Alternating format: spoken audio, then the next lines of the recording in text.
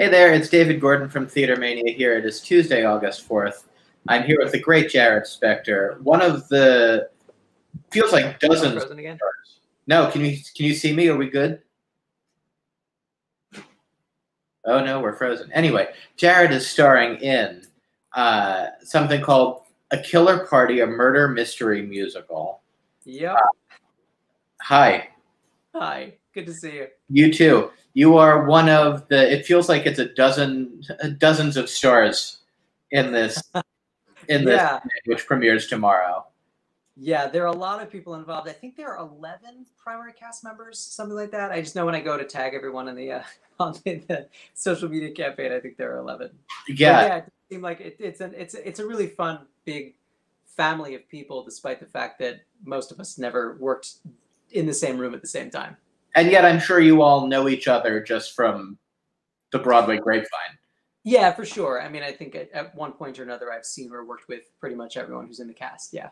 Yeah. What? Um, tell me about. Tell me about what this is first of all, because I feel like people still aren't really like people still either don't know or are just coming to learn about it. Right, sure. Well, um, you know, it's uh, it's a serial show, so there, you know, there are nine episodes of this uh, to tell this story of this murder mystery, um, which uh, there's and there's a bit of uh, you know, for those who have purchased or watched the first episode or previews of the first episode, you might know that there's a little bit of a meta concept here, and the person who is right, uh, Arthur MacArthur, who is the, our host, is uh, has and the artistic director of a of a, a theater has has written a show about a murder mystery that just happens to take place uh, in a house in which a murder occurs and then a murder mystery takes place. So it's a show within a show, and Yeah. very conveniently, this totally wasn't planned by the creative team. Everyone has to go and self isolate and quarantine in various parts of the house, and you know, be in a room alone, uh, and then be interrogated one by one by one. So it really worked out for those of us who were uh, all separated, as we all are, in our own homes to uh, to do what Jessica Keenan Wynn called the the longest self tape. so you play a character named George Murderer. yes, Is he the murderer, or is that a spoiler? I couldn't possibly That's true. tell you. His That's last true. name is murderer, so you've got that dead on. So in some sense, yes, he is a murderer, um, and his motives are certainly uh, questionable, as everyone's uh, pretty much everyone in the cast has has some motives. So uh, yeah, he's he's an interesting, fun kind of love him hate him guy. I just love the. Uh, I just love the like the in jokes just in the character names. Oh yeah, Like Laura Osnes, who should be here hopefully at some point during this conversation, sure, is playing a character named Vivica Orson Wells. yeah. Uh, Drew Gehling has my favorite character name, which is Cameron Mitchell John. Was it as fun to do as it looks, or as it seems?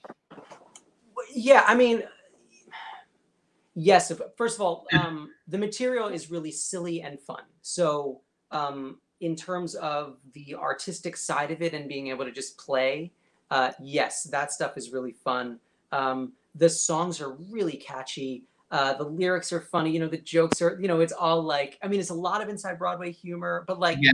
not that it's it's not esoteric it's not like everyone can't totally enjoy it because everyone will get almost all of the jokes um, especially as you said. I mean, a lot of the jokes are just puns. So you know, I mean, I love a good pun, and there are a million of them. Especially, in the, I mean, our detective's name is Justine Case. I mean, you know, it's like it's everywhere. Um, and but in terms of the uh, the filming and the recording of it, uh, I think for a lot of us, and I can, I mean, certainly for me, it's a it's a learning experience. Um, all of the uh, jobs uh, of the various people in our industry who are incredible. It looks like we froze again, but he'll be back shortly. Yeah. So this. Oh no, am I there? back? Am I back? Yeah, you're back. You're good. We're good. I'm We're sorry. great. Oh, goodness gracious. Um, I was saying We'll do it uh, live. we're sort of uh, yeah the, the magic of live theater over the internet. So uh, I was saying the um, what we take for granted, not take for granted, but suddenly this this vast array of skills that are honed and crafted by um, the various members of our industry, uh, people who work on lighting and you know directors of photography and and every, you know every sort of aspect of theater and filmmaking in one suddenly we're doing a lot of it on our own, and I can Yeah. say, you know, I can tell you, I'm, I, you know, I am, I am none of those. I have none of those skill sets. You know, like I mean, I'm certainly not uh, trained in most of Right. them. So all sort of working with what we've got. Um, fortunately, I was living in a, uh, I was quarantined in a house with a professional photographer, and he was of the utmost help. Uh, Johnson, but uh, Laura, Laura Osnes' husband, but um, nonetheless, we still were sort of uh, we were given given some direction uh, in, a, in a conversation with our director and our creative team. But then in the moment, you know, I mean, we're still left to sort of figure, okay, what's the best way? You know, what angle do we shoot this at? How do we, you know, and just sort of giving one another notes the best that we can and shooting it and framing it and doing all the things the best that we can so we can give uh, our creative team, especially the editing team, enough material uh, and enough variation to be able to put something together that's interesting, but also cohesive and, you know, funny. Yeah. Uh, so it's you know it was, it was definitely a process, um, but it was it was you know it was definitely great fun and a, and a good challenge. Yeah, I feel like this is a whole new world for everybody of just figuring out how to do all this tech stuff on your own. It is. It's suddenly you have to understand three point lighting and you have to understand like what various shots are instead of a director being like stand there and just wait for reframing. It's like you have to know what you're mastering in two shot and you're all, all the things. I mean, sort of we all a lot of us most actors know like the general gist of things, but it's different to actually then have to execute those things on your own while also being the actor in the scene. It's you know, it's it's a lot. Were you guys doing this over Zoom or were you literally just saying a line and then pausing like someone else? You can. you see me? Can you see me now? Can you hear me now? Can you hear me now? I can, I can. I'm sorry. I think best, did we do it live or did we do it over Zoom? Yeah, did you do it? Well, did you do it over Zoom or were you just like standing there with like your phone, like the talking into your phone and being like, I'm going to say a line and then pausing? No, we did. So, um, you mean in terms of scene work with? Terms, yeah, yeah, yeah. Like Yeah. if you're interacting with someone else. Right. So, um, the inter most of the interactions I had with other well, there are definitely big group scenes, and I think that that was a that most of them were done just by meticulous planning by our creative team, which is like this line should be directed here, or if they didn't know exactly what they wanted to do because they wanted to be able to have options in the editing room, they would say, okay, do the line in multiple different directions so that we can figure out exactly where you're looking uh, when the time comes. Uh, so everything was was self-contained. I mean, like we we filmed at home and not over the all, all, all we did over Zoom was have meetings, you know, about okay, this is what we think we want to do in the scene, and you know, everyone we we were given as much information. Um, I think that as we could realistically get ahead of time without you know, and then sort of in the trenches in the moment, you know, figuring it out the best that we can. I think actor by actor, figuring out okay, what can I do to give the editing team, our director, you know, our creative team, um, the best material that they can, you know, use to sort of piece Yeah. this crazy jigsaw puzzle together. Um, but in terms of like interacting, like I have scenes with Jessica Keenan Wynn, it, and for the most part, it's like, okay, she, you know, you look left of the camera, she's going to look right of the camera. We'll make it look as best as we can, like you're looking at one another. Um, she's going to bend down on this line, so lower your line of sight. I mean, it's like those kinds of things you have to plan out ahead of time. That in a normal on a normal set, you would just watch her squat down and talk to her, but instead here it's like, you know, you're you're, you're just sort of uh, you have to pre-plan it, and uh, unfortunately, you know, in some ways it's great, but in other ways it's like it leaves you a little bit less room, especially for the editing team. You know, I mean, they have to work Right. with what we give them. Um, but yeah, so far what I've seen, I mean, they're they're doing a, a miraculous job. I can't even imagine like the level of detail that it takes to do everything that they do. Plus, everyone has a different camera, a different Right. different lighting, and they're somehow making it look and sound and feel like one piece. Um, you know, I just watched a preview of one of the episodes, and it's I I, I genuinely forgot that the actors, because I wasn't in the scene, that the actors were in two different rooms because it's so it's just so seamlessly done. That's so cool. Yeah, It's just like it's fun to it's fun to see the way people are like creating or trying to create theater now. With all that's going on. Were you working on anything when the theaters got shut down or was, was Kelli working on anything when everything got shut down? No, I actually I, I was not working. I mean, I have um I had a series of, of concerts uh, that were lined up that of course got you know postponed for a year. Forever. It's bananas. Um, and Kelli was you know in the sort of in the thick of pilot season as, as actors often are. That you know I guess we all are. And you know in March. Um, yeah. no, I mean I you know and I, I I and I certainly feel. I feel for everyone in the industry, but especially those who were in the middle of a show, and especially those who were in a brand new show or in a brand new season. And you know, this is, you get X number of opportunities. You know, like life is finite. You get X number of seasons, and to be in a show, especially one that you believe in or in a role that you love, and you know this this happens. I mean, everyone is uh, everyone is in the same boat in terms of man. I hope this comes back. But the ones who really missed out in that moment, it's that's a that's a really tough blow. Yeah. Was uh was the Cher Show as fun to do as it looked for you, or was that show that show was like simultaneously so fun, but also just like a complete beast to do? I'm sure. Uh, yeah, it was a beast. I mean, it, first of all, yes. Again, I mean, Murder really silly fun in a lot of ways. Uh, you know, doing that goofy voice and getting to be Sonny Bono and dress up in those crazy costumes. Uh, you know, and be literally dressed by Bob Mackie. It's fantastic. You know, was so wonderful, and to work with those ladies and. Um, that all of that was was was really uh, a blessing, and I don't, you know, in terms of a beast, I think that you know, those three ladies had a lot of work Yeah. to do, and and I, and it's not that I didn't have stage time. I did. It's just I, my, I didn't have to. First of all, I didn't have to dance, and they all they all had so much. to Right. dance.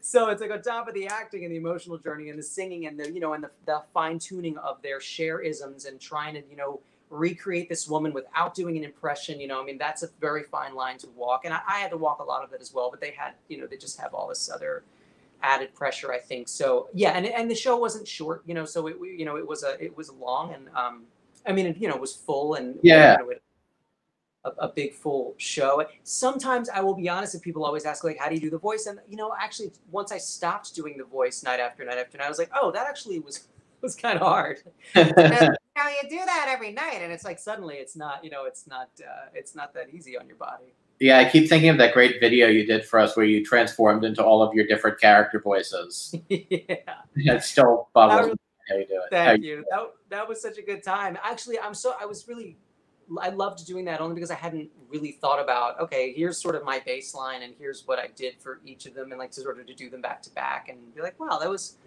I got to spend so much time with each of those people, uh, you know, that I really got to capture a lot of them and sort of bring them into myself. So to be able to do them back to back, this is how these guys are sort of the same but also different. Uh, that was a good time.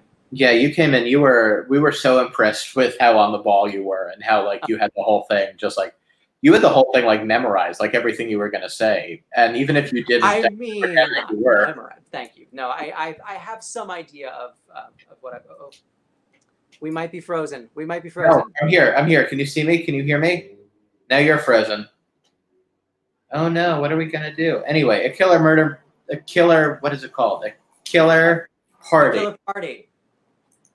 This is me trying to vamp. I don't vamp. I don't vamp well. uh, is uh, well, anyway. Uh, yeah, you came in so prepared, and we were so impressed with like how you were able to knock that out so qu- so quickly and Thank you. uh, so intelligently. And anybody watching this now, I order you to go on our site and just search for Jarrod's name on the site, and you'll find this terrific video he did for us last year, maybe a year and a half ago now.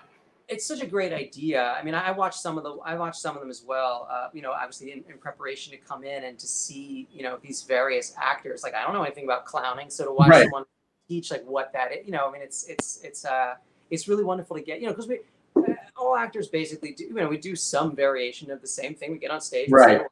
but the the way that everyone goes about it uh, is so unique, especially if you're you know used to being in musical theater and you watch someone who really does straight plays and does comedy or you know whatever's in their preparation and what they, how they work their body and uh, it's all you know it's wonderful to and be able to you know good good art good artists you know you steal what's what's good and you try to you, you know you take it on so please I encourage everyone to to go and, and laugh and, and, and, and watch that video. Jarrod, thank you for your time. Oh, my pleasure. Thank you for having me. Of course. And a killer party, a murder mystery musical. God, that's like the craziest tongue twister I've said in a while. AKP. AKP. AKP. We have, but we Yeah. use both uh, little acronyms there. It begins or is released, I guess, tomorrow. Uh, and Right. you can find it at a killerpartymusical.com. Yep, and you can go buy it now, and the first episode is already available to uh, to stream right away, and it'll give you a taste of the you know of the whole thing. It's a it's a nine episode arc. You will not know what's coming. I promise you will not. if you could solve it, well, I'm not going to promise anything. Well, Yeah. People are smarter than I am, but I don't. Yeah. I don't think you'll. I don't think you'll solve it. If you can solve it, you get to go to Broadway whenever it comes back. That's right. That's right. You get to come backstage on Broadway. If you can Yeah. Jarrod, thank you for your time. Say hi to Kelli for me. Uh, and thanks everybody for watching. Take care. take it easy. Bye.